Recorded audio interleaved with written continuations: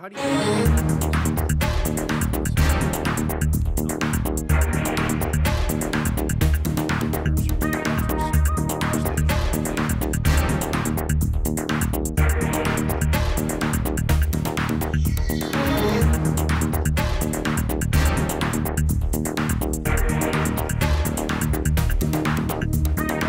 They're a stabilizing force. They're certainly uh, necessary at this juncture, given the threat posed by North Korea. We'll see what happens in the diplomatic track, but certainly now they're absolutely necessary.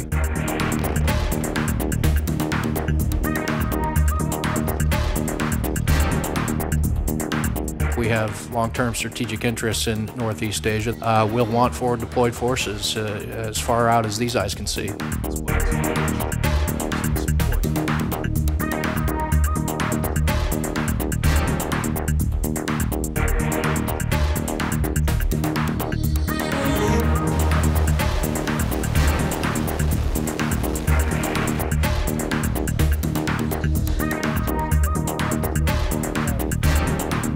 How they have failed to meet our ultimate objective.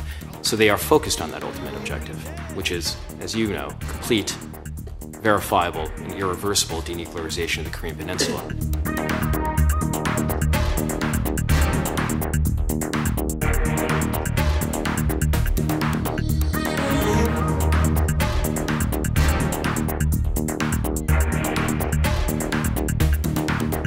And as long as South Korea and Japan are under the threat of nuclear weapons, which they are uh, in the region, uh, then it is in our mutual interest, in our alliance interest, to provide that nuclear umbrella and that extended deterrence.